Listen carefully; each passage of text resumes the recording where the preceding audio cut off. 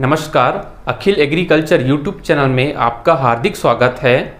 आज हम पढ़ेंगे डीम्ड टू बी यूनिवर्सिटीज़, क्या होता है और डीम्ड यूनिवर्सिटीज़ कितने हैं एग्रीकल्चर के हमारे इंडिया में। तो सबसे पहले हम जानेंगे डीम्ड यूनिवर्सिटीज़ क्या होते हैं।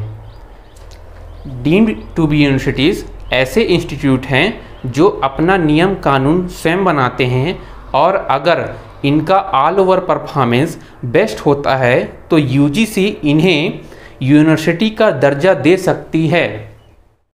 हमारे इंडिया में agriculture deemed to be universities की संख्या चार है।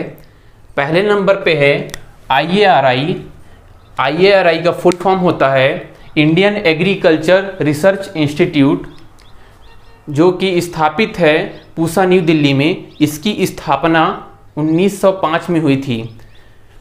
इंडियन एग्रीकल्चर रिसर्च इंस्टीट्यूट को हिंदी में बोलते हैं, भारतीय कृषि अनुसंधान संस्थान। दूसरे नंबर पे है IVRI, Indian veterinary research institute, जो कि स्थापित है इज़्ज़त नगर बरेली, उत्तर प्रदेश में। इसकी स्थापना 1889 में हुई थी। इसको हिंदी में बोलते हैं भारतीय पशु चिकित्सा अनुसंधान संस्थान। तीसरे नंबर पे है NDRI, national dairy research institute.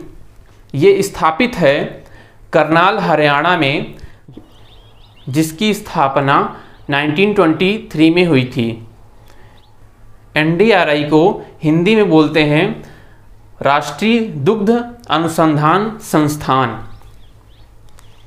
चौथे नंबर पे है C I F E central institute of fishery education जो कि स्थापित है मुंबई, महाराष्ट्र में। इसकी स्थापना 1961 में हुई थी। हिंदी में इसको बोलते हैं केंद्रीय मत्स्य शिक्षा संस्थान।